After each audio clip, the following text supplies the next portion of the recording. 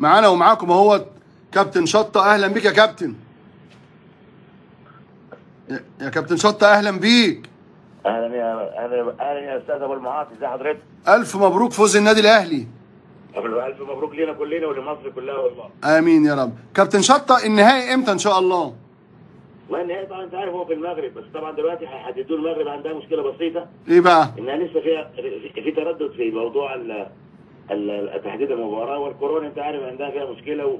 واجلوا بعض الماتشات بتاعت البطولات العربية وكده. فمش عارف إذا كان هيحددوا نفس الميعاد الم- المحدد دي من قبل كده ولا لأ. بس إن شاء الله هيتلعب في المغرب بإذن 17 ولا 27 يا كابتن هو- هم هم قالوا 17 بس أنا متأكد إنهم هيأجلوا ل 27 هيأجلوه ل 27 لأن في في يعني. أخبار كانت نازله عندهم ظروف الكورونا وعندهم عندهم حاجات ثانية يأجلوا فيها بعض الماتشات بتاعت البطولات العربية. دي آه.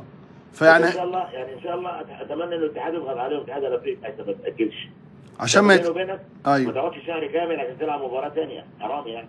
آه أنت دلوقتي في إحساس البطولة. طبعا وغير كده كمان شهر كتير عشان تعمل نهائي. ده النهائي المفروض يبقى بعد 14 يوم بس. أيوه أيوه. ماكسيموم كمان يعني. شيء- الحمد لله إنه النادي الأهلي دلوقتي أثبت إنه نادي بقى كبير. نادي بيلعب كرة قدم. توري إنه أصبح mature يعني ناضج ناضج. نضجه فنيا وفكريا وذهنيا وتماشى مع التغييرات اللي بتحصل وتماشى مع الوضع حقيقة. ومجموعة كويسة من اللاعبين التغييرات كلها بتبقى تغييرات بتس- بتسد الفراغات اللي موجودة والإصابات اللي موجودة الحقيقة يعني. أيوه. بنحيي بيتسو موسيماني يعني مهما كانت الأمور وال- وال- والنقد اللي هو بيتقبله أو أيوه بيتقال عليه لكن هو ما فيش مدرب في الدنيا مش عارف مصلحة فرقته إيه. حتى لو كان اختياراته بالنسبة لل الإعلام- الإعلاميين وال- والخبراء إنها مش مش منطقية لكن ال ال ال مش كل حاجة في كرة القدم منطقية، كرة القدم دي عبارة عن توفيق و أيوة. يعني تخيل الأداء من خلال أنت احتاج احتياجاتك إيه؟ وثقة المدرب في اللاعبين دي كلها حاجات مرتبطة بحاجة ثانية غير ال- النظره اللي بتبقى من بره دي إنه ده ليه لعب فلان وليه ما أعرفش حتى إيه وليه وليه اداهم سبع أيام إجازة. دي الاجازه طلعت اللي اداها دي هي اللي أيوة. الفايدة كلها. آه إن هو خرجوا من من الضغوط يا كابتن شطه بجد بجد يعني لما كانوا بينتقدوه إنه خد سبعة أيام إزاي وعنده مباراة بعد 14 يوم. أهو طلعت طلعت يعني هذه الراحة كانت مطلوبة 100% 100% واللعيبه واللعيبة استعادوا فورمات المباريات بسرعة شديدة جدا في في ال في ال في, ال في ال الراحة اللي اخذوها والفترة اللي كانوا يعني ابتعدوا فيها عن الكورة شوية. ودي حاجات مهمة جدا يا جماعة. كله مدرب أو مش كل واحد عارف احتياجات لاعبيته لاعبي- اللاعب- اللاعبين بتاعين له إيه؟ الحمد لله إنه ده يعني برضه ما فيش زي بقى بعد كده. لا هو من هو من ساعة سان داونز وهو كسب الكل. قبلها ماتش المحلة كان في حالة غضب جماهيري ضده. بعد ماتش آه، صن مباراتي سان داونز الكل وبعدها نهضة بركان وبعدها الترجي هناك وبعدها الترجي هنا. لا خد مساحة زمنية يشتغل فيها مع اللعيبة يا كابتن. وهو تعرض كمان برضه أنت عارف برضه هو بيسمع وبيتقال له. وفي طبعا في ناس كتير قوي طبعا في السفارة بينقلوا له والنقد اللي بيتقبله. عارف كويس لكن عمره ما اشتكى عمره ما رد على الناس. يعني بنوع من بنوع من ال ال- يعني ال- ال- التح- التح- التحكم وكده لكن أنا بعتقد إنه بعتقد إنه يعني مكسب كبير جدا للنادي الأهلي. ومهما حصل كفاية البطولات اللي خدها وكفاية إنه استعاد استعاد بريق النادي الاهلي مرة أخرى من خلال الاداء الممتع اللي شفناه النهارده حقيقه. كابتن شطة تتفق معايا إن هو أستاذ في التنويم المغناطيسي للفرق المنافسة. يعني امبارح في المؤتمر الصحفي قال لك أمين الش... آه، آه، الشعباني آه، أحسن مني. قبلها قال سان داونز هي الأفضل. و... ودايما متواضع في تصريحاته. النهارده راح هو بنفسه لمعين الشعباني وسلم على الدكة كلها وسلم على كابتن معين قبل بداية المباراة. راجل مؤدب ومحترم ومتواضع وأستاذ في التنويم المغناطيسي.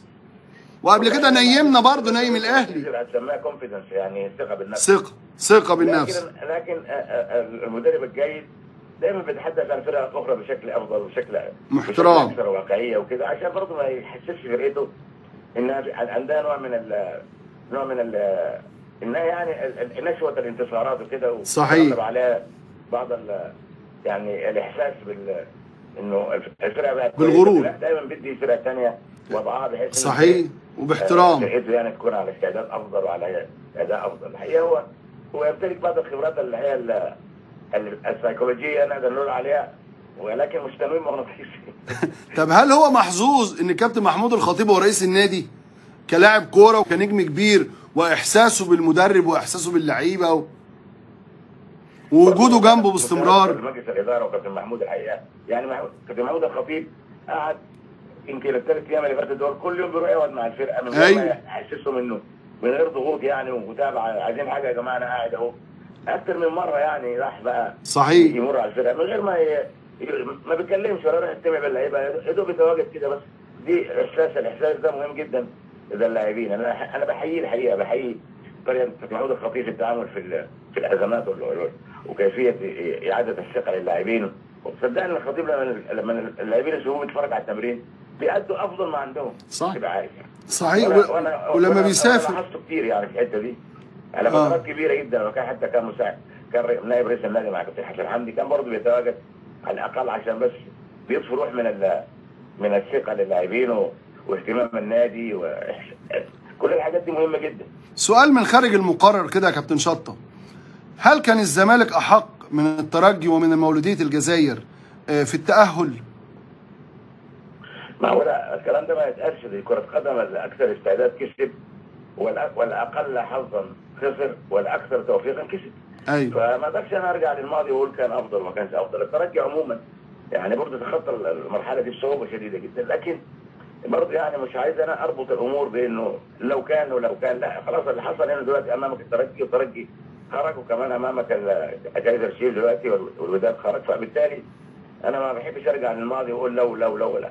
الاحق هو اللي كسب بالتوفيق بتوفيق وبأداء وب وب- وبالتزام وكده. فكرة القدم ما- تقدرش ترجع لورا تقول يعني فلان كان المفروض ال- ال- المفروض يكسب ولا لا. أيوه. والنادي طبعا الزمالك في أحسن حالاته وخسر. يعني نادي الزمالك في أحسن حالاته من سنوات طويلة وخسر أيوه. وكسب في حالات كان أقل من كده وكسب. أيوه. فدي حاجات برضه يا كابتن ابو المعاطي أيوه. مش مش لازم نتوقف عندها ونرجع لها كده بحيث إنها تبقى بالنسبة لنا موضوع للنقاش لأنها مرتبطة قلت لك بالتوفيق ومرتبطة بالظروف اللي مرت بها الفرقة. النهارده مثلا الترجي ما كانش متخيل إنه هيطرد منه واحد. نتيجه ان أحيانا التغلغل في العمق. أيوه. من يعني من طاهر خلى المدافع شده. والقانون واضح في الحتة دي أنا كنت قاعد جنبيه حكم حكم أيوه دولي. أيوه أيوه. بقول له دي لا دي, دي, دي انذار لأنه ضربه الجزاء. لما يكون في آه، خطأ داخل منطقة الجزاء القانون غيرها عملها انذار وط- انذار وضربة جزاء. عشان العقوبة لا يعني ما تبقاش عقوبتين في وقت واحد. قال لي أيوة. لا دي لازم فيها ضرب. لو راح الفار هيرجع إذا احتسبها ضربة جزاء لازم يطرده. القانون واضح. ليه بقى؟ المسك والشد. العنيف. أيوه. ال- ال- العنيف يعني والتعمد في الخطأ لازم يطرد حتى لو جوه منطقه الجزاء فالحتة دي بره بصراحه كان لازم ان انوه عنها وفعلا المذيع برضه بتاع المباراة كان بيذيع وده آه. كابتن حفيظ دراجي شرحها لكن طارق دياب قال حاجات تانية. لا طارق دياب هيقول إيه؟ لازم يقول اللي يقوله أنت عارف. آه هو برضو عنده حالة من الحسرة. آه طبعا إذا كان بقول لك الحكم قاعد جنبيه حكم دولي قال لك لا ده لو حسبها ضربة جزاء لازم يطرد مين بقى الحكم الدولي ده يا كابتن؟ واضح إنه في ضربة جزاء داخل منطقة الجزاء نتيجة عقاله ولا نتيجة شد ولا حاجة قال لي لا إلا الشد وتعمد الخطأ الشد ده تعمد أو الإيذاء حاول يضربه مثلا ويعرقله مثلا آه، بركله بركلة يعني من وراه كده يخبطه مثلا في رجله قال. لك لا وفعلا أول ما جه الحكم طبعا قاري القانون لأنه أنت عارف أيوه. وكان مع بعض بيبقوا عارفين بيقعدوا في ال- في الدورات وبيفهموهم الحاجات دي مع بعض كلهم. فعلى طول راح مطلع كارت الاحمر سقفت له والله سقفت الحكم ده. اليمنيان كابتن هل في جمهور في المباراة النهائية بإذن الله تعالى؟ لو في المغرب المغرب إن شاء الله هتعمل جمهور تعرف المغرب برضو المباراة بالنسبة لها فرقتين فرقتين يعني من بره المغرب فبالتالي مش هيكون في يعني نوع من ال- الاعتراض إلا إذا كانت موضوع الكورونا ده برضه أيوة. متسبب في إنه لازم ي- يبعدوا التجمهر لكن أنا أتمنى إن الاتحاد الافريقي يطلب منهم على الأقل 5000 يتوزعوا في الإستاد مش مشكلة. صحيح. ما فيش أي التصاق ولا في أي نوع من. صحيح صحيح. يا ريت يا ريت يبقى في جمهور عشان ده برضه تؤدي أداء أفضل. لأن لو كان في جمهور النهارده ما كنا كنا كنا استمتعنا. كنا السيمفونيه غريبة الشكل. لكن وكان لله دول بقوا شيء. لأنه بيعمل دوافع للعيبة. طبعا أنت إذا كانت الدوافع بتاعت الترجي هناك في تونس. ادت النادي الأهلي دوافع أعلى من التوانسه صحيح فما صحيح. بالك لو كانت الجمهور النادي الأهلي موجود النهارده؟ قلت. لك كانت الدنيا اتلخبطت. كانت الدنيا اتلخبطت. كنا شفنا بقول لك شفنا سيمفونية. لكن الحمد لله النتيجه دي مرضية جدا. وأشكر اللعيبة وأشكر الأجهزة الفنية وبيتسو تتوقع الفوز بكام في المية يا كابتن؟ وإدارة النادي الأهلي على انه النادي الأهلي أصبح نادي يعني يمتلك يمتلك ريتم كويس صحيح. اداء يمتلك style. style دلوقتي تعرف مين بيطلع منين اللي يروح فين وده يجي منين وده أيوه بالظبط. كل الحاجات دي أنا بحيي فيها الحقيقة كل كل الأهلي بطل أفريقيا بنسبة كام في المية يا كابتن شطة؟ نعم الأهلي بطل أفريقيا بنسبة كام في المية في رأيك؟ دخلتني تاني في ال في ال في ال في ال توقع توقع النتيجه أنا يعني بقول النادي الأهلي ماشي في طريق إلى أن يؤدي إلى النهاية وعنده إصرار على بلوغ النهاية. لكن أنا بقولها لك أهو الاستعداد الجيد مع عدم مع عدم تقليل الخصم الخصم يعني كذا شيء مش مش مش يعني مش أقوى من سان داونز مش أقوى من ولا أقوى من الترجي.